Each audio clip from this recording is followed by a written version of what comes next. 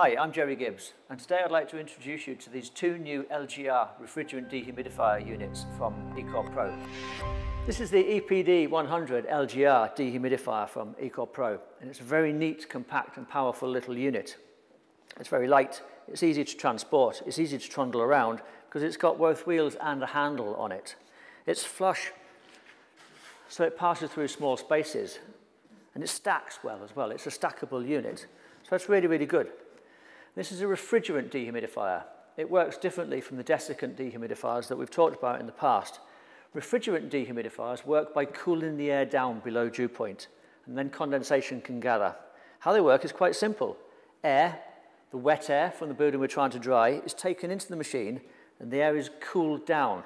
And inside this machine, there are cold surfaces, which you could liken to a lager glass standing on the bar, or a milk bottle that you've just taken from the fridge. When we see water droplets gathering on those cold surfaces, this is because cold air cannot carry moisture. And the machine understands this. So it's taking the humid air from our wet environment, cooling it down on a cold coil. Water droplets are going to gather on there as condensation, and then we end up with dry air continuing on through. And it's that dry air that we're going to use to dry our building. Inside the machine, those water droplets are going to drop off the cold coils inside they're going to drop into a small tank, and a pump is going to take them from that tank and pump that liquid water clear of the environment which, which we wish to dry. Air coming into that, this machine is filtered.